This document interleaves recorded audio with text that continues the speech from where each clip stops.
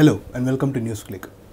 We have a very special guest here today, uh, Mrs. Nirmala Rajasingam, who is a co-founder of the Sri Lanka Democracy, Democracy Forum and uh, a member of the South Asia Solidarity Group and who is based in London, and with whom we shall discuss the situation in Sri Lanka today, the challenges faced by civil society and democratic, democratic activists in, the, in that country, and more. Welcome to NewsClick. Thank you for inviting me. Yeah. Uh, my first question to you would be uh, based on the developments that we see in Tamil Nadu today. Uh, following the re- regular release of images from the uh, civil from the final phase of the civil war in 2009, there has been a lot of outrage that has been generated. Much of it very genuine. Uh, you know, students and professionals coming out to the streets, angry that uh, that the Sri Lankan government has not been held accountable for certain of those war crimes, and some even demanding international probe into the incidents and so on and so forth. What would be your message to those uh, young students and professionals who are coming onto the streets? I mean, um, I, um, I understand their, the outrage, their feelings of outrage. I understand uh, I, ordinary people on the ground in Tamil Nadu have always, uh, their, their hearts have gone out uh, for, the, for the Sri Lankan Tamils. I myself was a recipient of their warmth and uh, welcome when I first uh, fled to Tamil Nadu as a refugee in the mid 80s. Um, however, uh, I, what I want to say is that um, um, it's very important that that they, that this this uh, groundswell of opinion, these feelings for the Sri Lankan Tamils plight, should not then uh, turn into a kind of um, Tamil chauvinism, which can be manipulated by political actors in Tamil Nadu. Uh, for instance, you know the, the attacks on Sinhala tourists, the Buddhist monks who come to India to Tamil Nadu on pilgrimage, that is really unacceptable because not simply because it's unacceptable on its own as, as you know inhumane acts Right, but right. also because uh, it strengthens Sinhala Buddhist nationalism in Sri Lanka and and it, then Right. uh, that of course you know visits upon the Tamil population and makes them even more insecure. So it ultimately it's not in the interest of the Sri Lankan Tamils for a kind of Tamil chauvinism to evolve in Tamil Nadu relating to the Sri Lankan Tamils plight. So, uh, ordinary people must understand yes, it's great to give solidarity, it's great to ask questions about what is happening to the Sri Lankan Tamils, but uh, you must not make it into a kind of uh, allow it to become a jingoistic, chauvinistic Tamil movement that is manipulated by you know established political actors. The popular imaginary in uh, Tamil Nadu is that of uh, uh, what happened during this uh, civil war was you know intense bombing on the Tamil population, which is more or less true, uh, and uh, you know a show of Sinhala nationalist triumphalism and so on. But um, I am sure that there are other issues faced by the Tamils in Sri Lanka, and somehow that those issues by not just the you know uh, the Sri Lankan Tamils in the north and the east, but also other you know migrant Tamils who have settled down in Sri Lanka for a long time, such as the upcountry Tamils and so on and so forth. So, uh, uh, could you give us a picture of the you know uh, of the of the of the challenges they face uh, in in Sri Lanka? Right. Um, the thing is, uh, yes, you know, it was a devastating war. It will take decades and decades and decades for the for the Sri Lankan Tamils or the Tamils in Sri Lanka to recover from from that war, particularly those who were in the theatre of war, the thousands of people. And we know that thousands and thousands of people, the estimate of forty thousand people, died in the war, due mainly due to government bombing, indiscriminate bombing. Uh, but it wa- the war itself was a process. There were two armies fighting, and the LTT was implicated in this war. You know, keeping people uh, imprisoned within that narrow space, and and not letting them go, um, sh- shooting on people who were fleeing the war. Um, and of course, so so one must understand it. Uh, you know how the war. You know, it was a process. There were two armies there. The bigger and the more brutal army won at the end. You know. Uh, there's no question about it with heavier weaponry and more numbers that's that's how it happened now one that's the first thing the second thing is yes the, the tamils need a, a day of reckoning where they can they have the opportunity to tell their story. They need some kind of recompense for what they have suffered. There is no question about that. But they also need to reconcile reconciliation. They also need to build a future in that country. Yes. the tamils are not going to go anywhere else. Those who are there are there to live and they have to live. The reality is they have to live with the muslims and the sinhalese. Now since the end of the war, the Rajapaksa regime has capitalized on this massive victory and, and uh, you know, on a note of triumphalism, has consolidated a Sinhala nationalist uh, base for itself. You know, if there was uh, doubt, I mean, it's, it's becoming worse. I, I totally agree. So then, the, we mustn't do anything to strengthen that process. We must, we must do things to detract from that process. That is very important, particularly people who are external actors, uh, people who give solidarity from abroad should be mindful of this. And I also want to say that uh, in the in the in the in the in the Vanni, the vast majority of people, I think, who died in that war and who could not um, were the poorest people.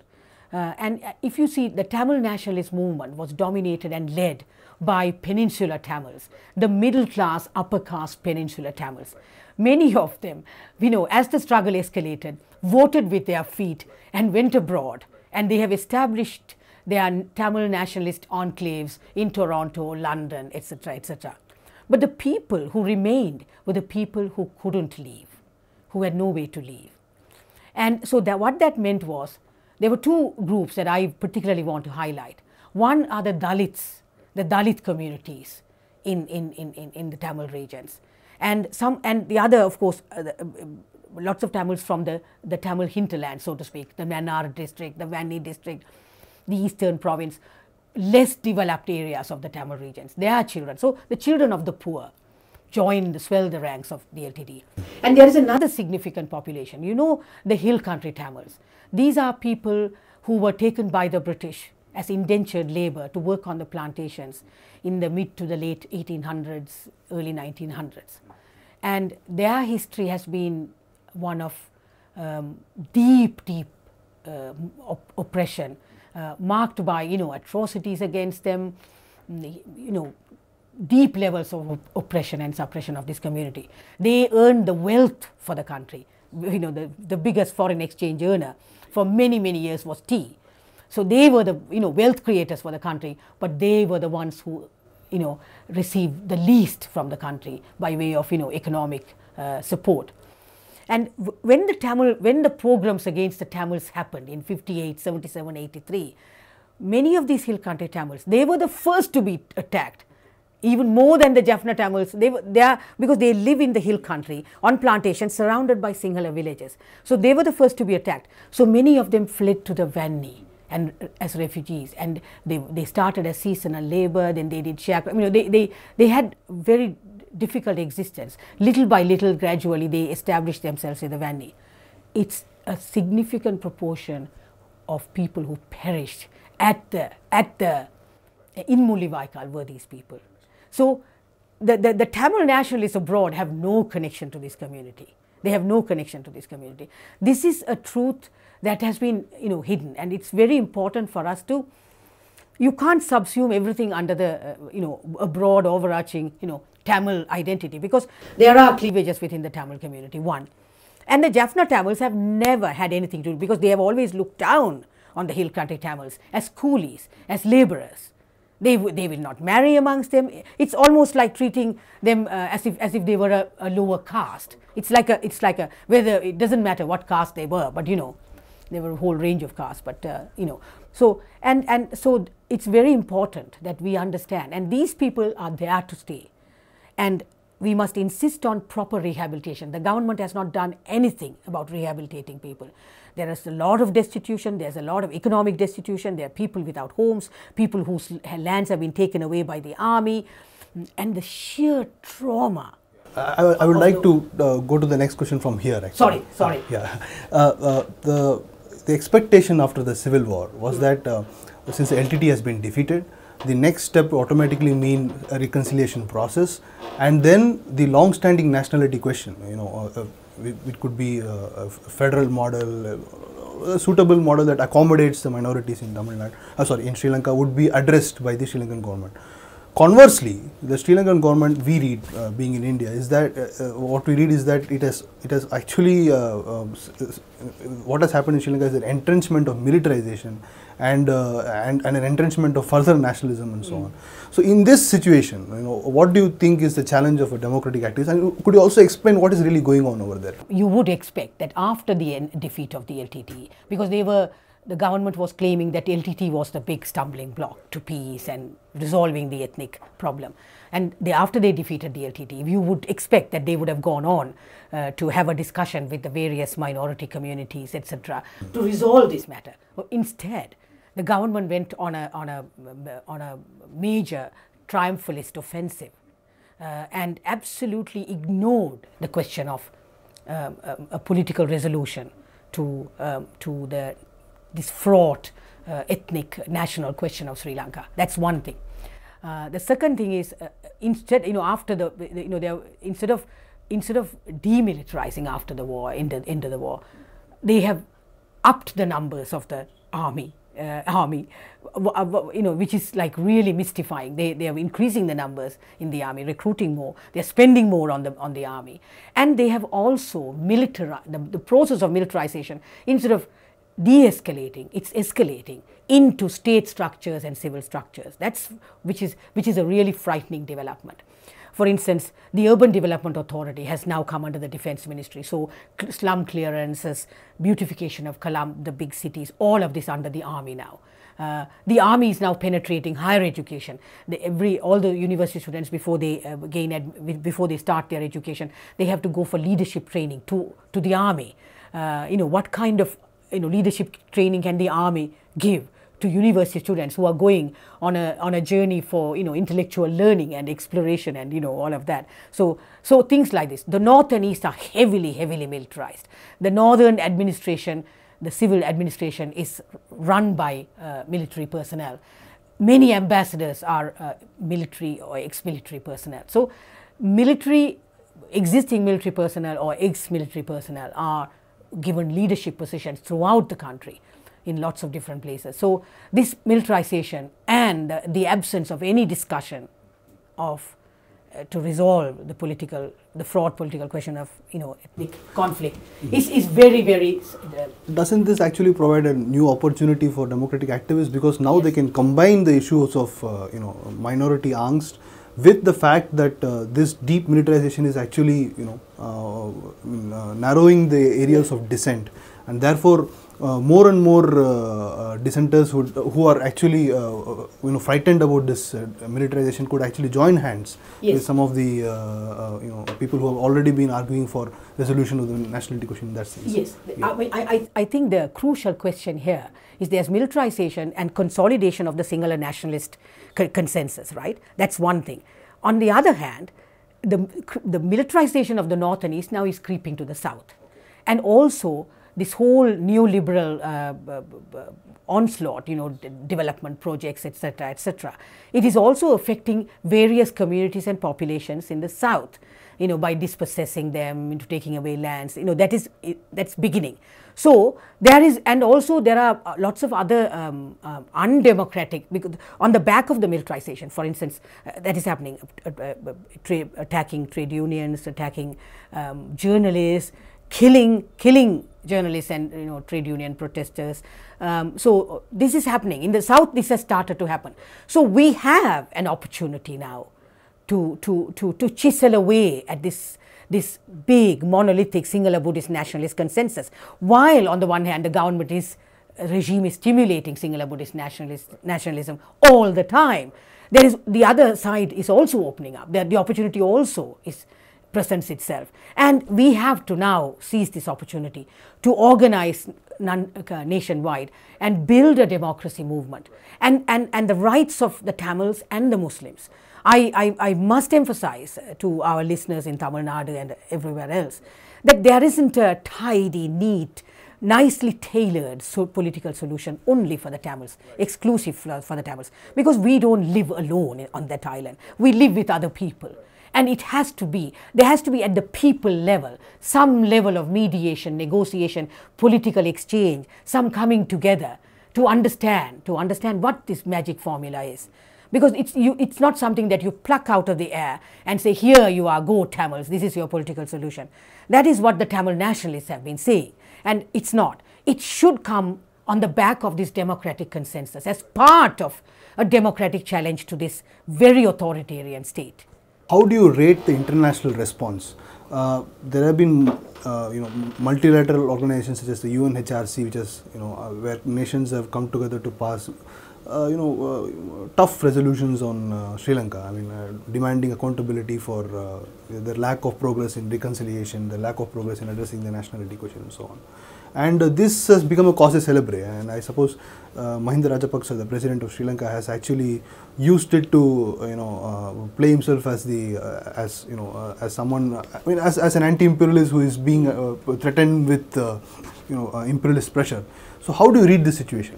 Right. I mean the thing is when you say international actors, the international community, there are what is the international community is the first thing we have to ask that question there are many different actors, you know, even in the UN system. I mean, now when you look at the end of the war, Mahinda Rajapaksa was supported by many countries to finish the war. They, everybody looked away while they finished the job. That is the reality. So let's get that right first. Secondly, there are then international actors now trying to get, to get the Sri Lankan regime to comply, you know, uh, so that, that, that process is there. And it happens at the level of the UN Human Rights Council system. You know that you know it, countries come together and they wish to uh, discipline the Sri Lankan regime for not doing certain things or, or for doing certain things. Now the resolutions we I you know I, I am happy about the resolution but I am also unhappy that it's it's not really enough in the sense that basically what it is asking the Sri Lankan government to do is to implement the government's own commission's recommendations, the government's appointed commission, Lessons Learned and Reconciliation Commission, that came up with a whole set of recommendations. Except for a, a couple of uh, one section, I'm okay with almost all the recommendations. If they, if they implemented those recommendations, we will be moving forward. But the government is refusing to do that. And these, these uh, resolutions that have been passed in the UNHRC um, are, are simply asking that. There is no great radical radical step that they are asking the Sri Lankan government to do, right? But of course, Mahinda Rajapaksa and his, uh, uh, you know, the, the president and his supporters can present this to the Sinhala public as, uh, you know, as some kind of threat that, that is being, you know, um, um, uh, you know, directed at them, the international community, the West, the imperialists, so, so on and so forth. And, and uh, some of these countries, even after the end of the war, have been selling weapons to Sri Lanka in 2011 and while they are also discussing human rights, etc., at the Human Rights Council. I'm not, I'm not belittling, you know, the achievements that the UN Human Rights Council achieved by, by, by a lot of, demo, you know, a lot of human rights activists, human rights, international human rights organizations. But I am, I am kind of um, not that confident about what it really means, how it translates locally, because ultimately it is people within Sri Lanka who have to transform our state. We are the ones who have to do it, you know. And, and, and for that, I, I, am just uh, thinking, you know, how does it really help in the, in the ultimate process? It's fine. It's another, it's, it should be a side show. We, it cannot be the main show where we put all our eggs in the UNHRC basket. That every time, you know, there's this huge build up towards March of, you know, 2013 this year. And then after that, we all go home and we say, ah, resolution done. You know, it's, there's lots more work to be done within the country. The sum and substance of what you say is that the uh, international civil society response to the developments in Sri Lanka should be cognizant, uh, cognizant of the realities there and also be cognizant of the aspirations of the people within Sri Lanka and what effect their responses would have on the, the lives of the uh, people over there. That's what that, that is that is that is one of the things I'm saying. You know, um, that for, for me, the most important agenda uh, thing, thing that should be on the agenda for the, as far as the Tamil people are concerned, is, is, is their rehabilitation. Because now we have a population that is still traumatized by the war, rendered inert and destitute. Because, and also because these people have been inert and mute and suppressed over the 30 year war by the LTTE. So we need to sort of make them start come out, come alive again, so they can start thinking about their political future. So rehabilitation is very important. The other thing that really uh, we, we must really focus on, and we need solidarity from uh, the left, uh, the left in India and elsewhere. I know uh, this is uh, this my my message to to the left. We need is is to take on Sinhala Buddhist nationalism uh, in the way that you know to, to solidarize with us and to understand our predicaments there. For instance, now the Muslim community is being targeted in a big way, in a terrifying way. And I, I now remember the time in the late 70s, early 80s when the Tamil community was there. And we cannot allow that whole process to happen all over again. Not another 30 year war, not another war.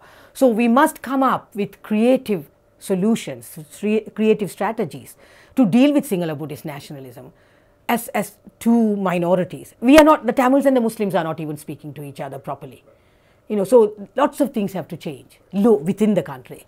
Thank you so much. Thank you so much for your uh, you know, introspective remarks and uh, and message messages to the both the civil society and the left in India. Thank you so much. Thank you very much for having me.